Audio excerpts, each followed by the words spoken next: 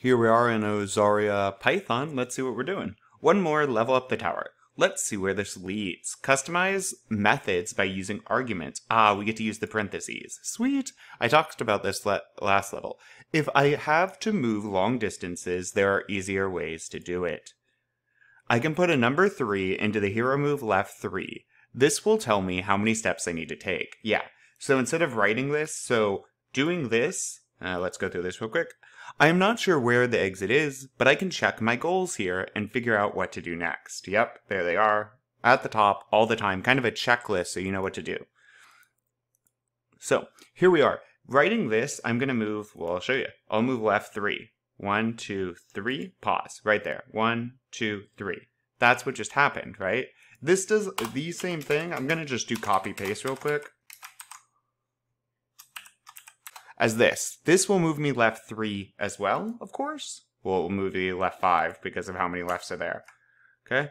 But it's the same thing. To put a number in there, that's what it will do for us. So now I'm going to move left three and up two, and let's see where this gets me. It's always good to test code. And as we know, we can use use. So I'm already using use on lever. So let me use it again here, hero use, and then the string. What string, what what characters, what word am I want to say? I need to say door. Okay, that's a string. Let's test it out. You should always test code a bunch. It's great to be wrong. It's so much easier to catch mistakes here than when I have a billion lines beyond it and I have to fix everything. All right, now it looks like I, after this, would want to go to the left. Yep, that looks good. I could leave one here, okay? Or as they already have, nothing. I think one's just a hint that you could add more. And then I'm going to want to go up. Now, how many? Well, it looks two to me. So I can automatically just put it in a two there. And then I want to go right. And I really should be checking and debugging code more often than this. So I'm going to put a two here and let's just see where I am.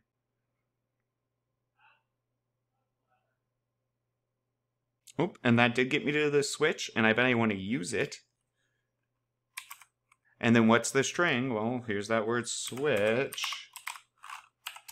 And then get to the switch, get to the exit. Is this the exit? It has me stopping here, I think. So I'm just going to go right once and let's see. We, I can leave this one or I could delete it. Either way, I'll just go one automatically. And that's uh, uh, boom. Awesome. Onward.